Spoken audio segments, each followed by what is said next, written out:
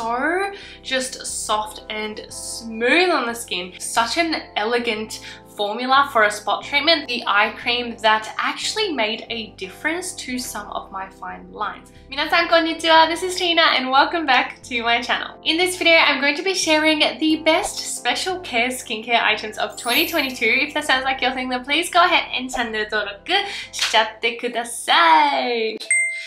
And when I mean special care, I mean things like spot treatments, eye creams, masks, things that basically aren't like necessarily necessary in a core skincare routine, but things that are nice to have and things that can kind of enhance your whole skincare game, if that makes sense. So we're going to be talking about those little bits and pieces today. The first product category I have is actually toner pads. I always have used toner pads, but it definitely wasn't like an everyday ordeal. Although I feel like in the last kind of few months, I've been really into toner pads. They are just such an easy, quick, useful way to cleanse, tone, refresh, um, even soothe your skin, use it like a sheet mask. There's just so many ways that you can use them. I have come to realize that I do tend to prefer toner pads that are soft, smooth, and really gentle on the skin compared to ones that have a lot of texture on the cotton or have kind of harsh exfoliating ingredients. The first one I have is the Soo Good Feel Soo Calm Toner Pad. So you guys should already know that Soo Beauty, the creator of this toner pad, is one of my favorite Korean beauty influences and I just had to give a shout out to this toner pad because it definitely has been one of my go-to soothing and hydrating toner pads of this year.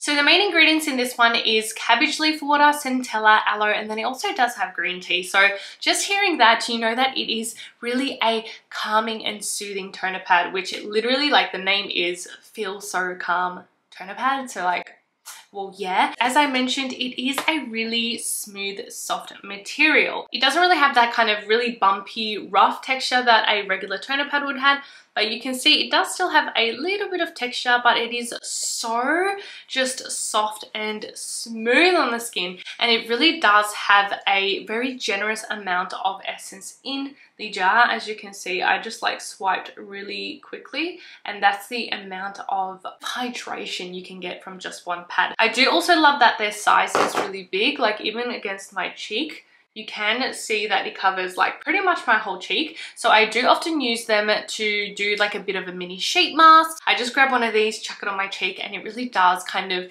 give you that soothing and hydrating moment. Not only does this toner pad soothe and hydrate the skin, but it also can help with the overproduction of sebum and also helps with pore care. So I feel like that's something to really come out of Soo. Like I feel like that's all of the things that she always talks about with her skin and it definitely has benefited even my dehydrated and dry skin skin as well. The other toner pad I have is actually the Parnell Cicamanu Cotton Clear Pad. So this one was a bit more of a recent discovery, but as I said, another one that has like a beautifully soft, smooth textured cotton that I can't get enough of. It does also come with a pair of tweezers in the lid, which is super helpful. This is what it looks like, and it's actually a unbleached cotton. I don't know if you can really see in the camera, but it does have all the bits of the natural fibers of the cotton because it's not bleached. There's not really a reason why cotton needs to be bleached. It's just like the aesthetic look of it. So I like the fact that they didn't go through the trouble to bleach it and left it as the natural material. As I mentioned, this one again is a really, really smooth cotton pad and I love the way it feels on my skin. I was often using it in the morning to have like a really nice fresh wipe down of my face. This one does include Parnell's patented ingredient of Cicamanu Biome Complex, which does combine Centella asiatica and Manuka honey from New Zealand. So it soothes while strengthens the skin barrier as well as having those antibacterial and anti-inflammatory properties of Manuka honey. It also does have LHA which is going to really gently exfoliate the skin so I feel like it is that perfect toner pad for those who have sensitive but acne prone skin. Next I'm going to move on to spot treatments which this first one is definitely not something that I discovered this year. I've actually been using it for quite a while now but I did realize that it has never been in a best of video and I feel like it 100% deserves the spot. It is the Lion Pair Acne Cream. It honestly looks pretty much destroyed at this point because I am about to use it up, but I have mentioned it multiple times on my channel as my holy grail spot treatment. I will say that I don't suffer from very frequent breakouts, especially these days I feel like I don't get them as often, knock on wood, but I do still tend to get hormonal breakouts just before my period, and whenever that happens, this is the one I go for. So in Japan, they do actually market this as a spot treatment for adults for hormonal acne and that is why I initially reached for it when I was living in Japan and honestly I have not looked back since. I will say it probably still works for other breakouts and all the times I've mentioned it I always have people um, mentioning that it's worked for cystic acne, it's worked for like smaller breakouts, bigger breakouts, and if you do go through the comments on my videos, I feel like there's always a lot of different people experiencing a lot of different types of breakouts and say that this has worked. Now, that doesn't mean that I can guarantee it's going to work for you, but it is a pretty affordable option and also like such an elegant formula for a spot treatment that I definitely want you to try it out. So the two main ingredients are ibuprofen piconol, ibuprofen piconol, and isopropyl methylphenol, isopropyl meth methylphenol or something along those lines. Basically, they are antibacterial and anti-inflammatory. So they're going to treat while also kind of lessening that inflammatory condition of your breakouts. And as I said, the formula is just super elegant for a pimple cream. I feel like all the other ones I've tried in the past, they're either really drying or really thick or even really opaque, like leave some sort of like a white tint on your skin. But this one is just such a light lotion that just melts melts away on your skin and just blends out so, so easily. So I can use it any time of day underneath makeup. It really doesn't matter. I can use it like literally whenever, wherever. And that is one of the reasons if not main reason, to why I keep coming back to it. So yes, if you haven't tried it already, please, please give it a go. And the other spot treatment, I guess you could say, that I have today is the Skinfood Cica Clear Spot Patch. So I do feel like most pimple patches these days are pretty much the same, but I did want to mention this one because I feel like it was my best pimple patch discovery of this year because it has 100 patches in the pack, which I think is the most that I've ever seen. And then it does also come in three sizes, including a very small patch. I've always wanted that smaller patch. I feel like most of my um, breakouts don't end up being very big. They just have like a tiny little bump. And a lot of the time regular pimple patches seem to be a bit too big. I've only had the one pack and yet it has lasted me such a long time since it does have 100 patches. I know it is a little bit harder to get compared to the other ones, but if you can get your hands on it, I highly, highly recommend because it's just like it's great value for money too. Now we're going to move on to eye creams, which I know is not something that everyone uses, although I have used a eye cream for quite a long time now. I don't always think it's necessary in the sense that yes, you can use your moisturizer instead of eye cream, that's totally fine. But for me, I feel like having an eye cream actually makes me take care of my eyes more, if that makes sense, because I don't specifically get my moisturizer and apply an extra amount around my eyes and make sure it's blended really nicely. But if I do have an eye cream, I am going to take that extra step and care. So I do have two eye creams to mention in this video. The first one is actually the Klairs Fundamental Nourishing Eye Butter. So initially I actually opened this one for my partner Logan because he doesn't like that heavy feeling of eye creams around his eyes. And even though the name is eye butter, it's actually a really nice light kind of gel lotion texture and I actually do recommend it for even oily skin types due to that lightweight feel. It has been my go-to morning eye cream and then Logan has been using it I think both morning and night and it really does sink in easily and kind of hydrate and plump out that eye area without feeling heavy. It does use peptides as its main ingredient which is always a great gentle option for anti-aging. I definitely have been enjoying it even though I haven't mentioned it that much probably because I just haven't been doing any like morning routine videos. But yeah, definitely a good one to try, especially if you have oily skin. And the other eye cream I have is the Tiam Vita A Bakuchiol Firming Eye Cream. As the name suggests, this one does have a blend of vitamin A as well as bakuchiol and it does even have peptides in it. So it is really a moisturizing and firming eye cream that is going to help give those anti-aging effects as well. So I did do a bit of a deep dive on this one in my Tiam brand review video. If you haven't watched already, I highly recommend because I do go into um, detail of this one. I did feel like this was the eye cream that actually made a difference to some of my fine lines. Now, I don't have a lot. As you can see, like I've just got a very kind of small amount on the outer corner and then like the middle of my eye. But I do feel like this one after like using it consistently for a couple of weeks, kind of helped to soften out and make my kind of bigger line in the middle of my eye um, shallower and less noticeable. So if you are looking for slow aging, anti-aging eye cream, this one does have vitamin A and bakuchiol and the whole Tiam skincare range is very, very affordable. So if you don't want to kind of spend a lot of money to get those ingredients, I feel like this is a great option and a great starting point um, for people who are looking for those ingredients in an eye cream. So next we're going to move onto masks, which I feel like is the product that most people think of when they think of special care. But I will say that I feel like I didn't use that many masks this year, especially wash-off ones. If anything, I did a lot of DIY masking with really thin cotton pads. I just like really got into them this year. I just feel like it is such an easy way and you can use the kind of products and toners you like but in all of that, these are the standouts and I do have one wash off mask. This is the I'm from Beet Purifying Mask. So this one I would like to claim as the clay mask for dry skin. If you don't have dry skin, you probably love clay masks. If you do have dry skin like me, clay masks are probably something that are a little bit, um, little bit scary, let's just say, because some of them can seriously dry out your skin, but it is still nice to be able to reap the benefits of a clay mask, like cleansing your pores well, or kind of lifting those impurities. And this was the first clay mask that I felt that truly was not stripping of the skin's moisture. Obviously the main ingredient is beet, which is known to be a superfood. It is full of vitamins like vitamin A, B and C as well as beta carotene and it can have um, properties to soothe while purifying the skin. So this one can control sebum and lift those impurities which we all get like no matter how dry and dehydrated my skin is,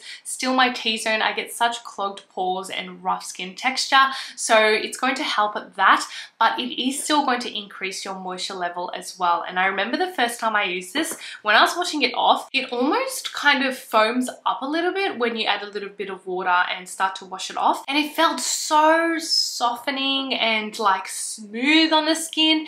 And it did help to kind of deeply cleanse my face, but my skin was still glowing afterwards and it wasn't completely dry, which tends to always happen with clay masks. So I was like so pleasantly surprised. And if you are someone like me who does want to try clay mask but are afraid because you have dry skin, this is definitely the one that I would recommend. Now I have sheet masks. The first one I have is the Rovectin Lotus Water Calming Sheet Mask. So other than my bulk pack sheet mask that have like 30 in a pack, this is the sheet mask that I used the most this year. I don't actually know how many I've been through. I think it's probably about 10 of them. And the reason why I use this so much is because it is a simple, gentle, soothing, hydrating, basic sheet mask because I feel like most sheet masks these days have kind of like an ulterior motive. It's like pore care or it does this and that. Like there's always like a extra kind of benefit which is good usually, but sometimes you just want something that's going to be deeply hydrating,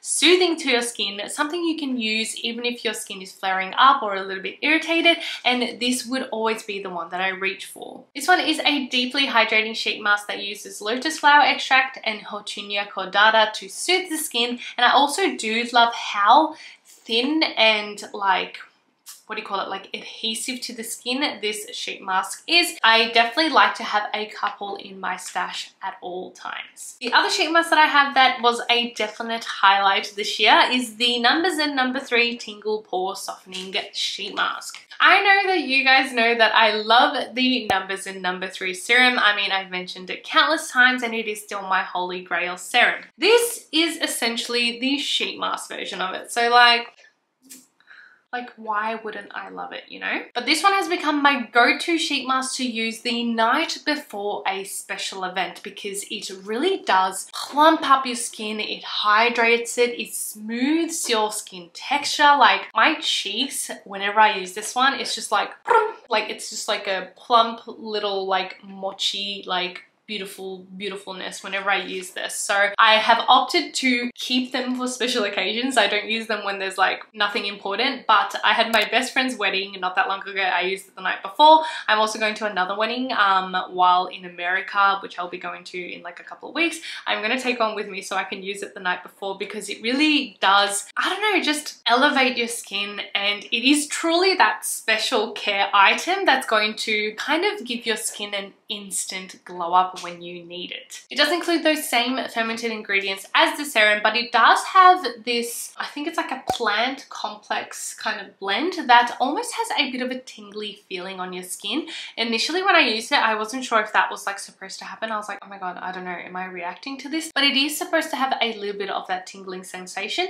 And they say that's what helps to stretch and smooth out your pores. I don't know how it works, but it works for me and I love it. I think I have like two to three of these left, but I definitely will be restocking them whenever I run out. Last, I actually do have lip care and I do use lip balms on a regular basis, although I will say my partner Logan, he uses them like literally non-stop. So we do have a big stash of lip balms in this household because we just need them like literally everywhere like one here one there one in each bag first i have the Klairs nourishing care lip sleeping pack so I actually had seen this around and I thought it was kind of like a dupe for the Laneige one. I had used a sample of the Laneige one in the past and I wasn't that impressed. Like it was okay, but I felt like there were some days where I did feel like it still dried out my lips and it didn't last the whole night. Whereas this one, I was so pleasantly surprised. It does have a thick coating texture to it. It's not a really loose lip balm. So if you don't like that thick feeling, you might not like it as much,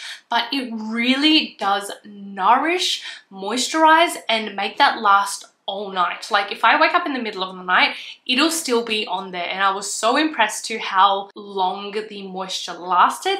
And not only that, it is such a big jar. Like I know it doesn't look big, but this is 20 grams of product. Usually lip balms do not contain that much product. I mean, this Twist Up lip balm has 2.4 grams, like literally 10 times the amount. For that, I feel like it is such a steal. I can't exactly remember how much I bought it for, but I think it was under $10 on sale. I think at max it's like $15 and it lasts such a long time. I've been using it for months now, like at least three months, if not more, and I've used it every single night and like I'm barely making a dent in it. There is so much product. I know the other day I like stabbed a little spatula in it to see how far it went down and there's just still so much product in it. I honestly don't even know if I'll use it up in a year. Like there's just so much product and the fragrance Oh, it's so good. If you don't like fragrance, you might not like it, but it's like a vanilla cake kind of smell and I absolutely adore it. It does use sweet almond, avocado and apricot oil to nourish and yeah, it is just such a good buy and I was very pleasantly surprised by this product. The other lip balm I have is the Mentholatum Premium Melty Cream Lip in Blooming Honey. So I have loved their regular melty cream lips for a long time now and I've mentioned them many times on my channel and I always do recommend them, but they did come out with a premium version and I first was introduced to it by a subscriber. They actually sent it to me from Japan and I was like, oh my God, this is wonderful. And since then I have definitely been hooked and have like repurchased many. I honestly think I have like a backup of three. Compared to the regular melty cream lips, the premium version is definitely richer, like that's the whole point of them. They are a bit more nourishing and full of moisture. So if you do have extra dry lips or if it's in wintertime like now for most of you guys, it is going to add that extra punch of moisture and I do feel that difference compared to the regular line. But it still feels really light on the lips, has that slippery kind of feel that does absorb into your lips. So it's not going to feel like there's this thick layer sitting on top of your lips. This one as well as the regular one do also have SPF I think of 22 or 25. So whenever people do ask me for a SPF lip balm, this is always one of the ones I recommend and if you can get a chance to try it out, I definitely recommend as well. Well, that concludes my best of special care items of this year. I really do hope you enjoyed it. If you do want to check out any other best of skincare videos of the year, make sure you click one of these two and I'll see you guys in the next one. Bye! Mwah!